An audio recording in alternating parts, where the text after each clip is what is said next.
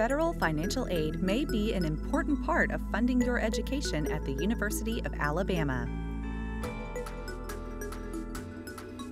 It all starts by applying and being admitted to UA.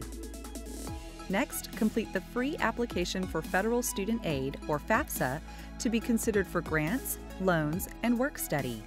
The FAFSA opens on October 1st each year. You'll need your family's federal tax information to fill it out.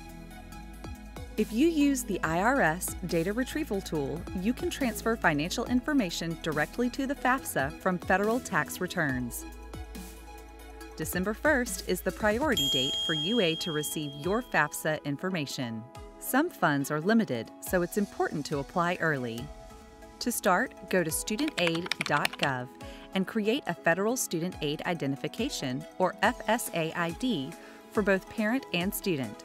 Then complete your application. Be sure to list UA's federal code 001051 so we'll receive your results. When UA receives your FAFSA results, we'll contact you through your Crimson email address. We may need more information for you to supply as soon as possible.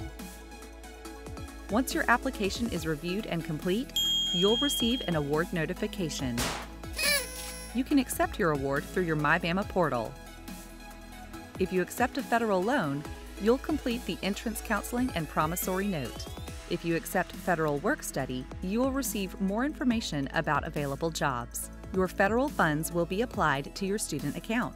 The scholarship process is separate, so be sure to check out your options there as well. Good luck and roll tide!